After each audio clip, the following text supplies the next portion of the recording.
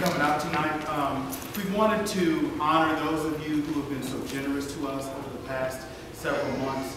Um, as you know, it's, a, it's an amazing honor for us to be able to do this concert Carnegie Hall. But what's even more amazing is the fact that the Millington community, the Memphis community, the family, the friends, the loved ones of the people behind me have truly rallied behind us to make this thing happen financially, uh, morally, uh, moral supportive, moral support, and uh, we just thank you so much for all those things.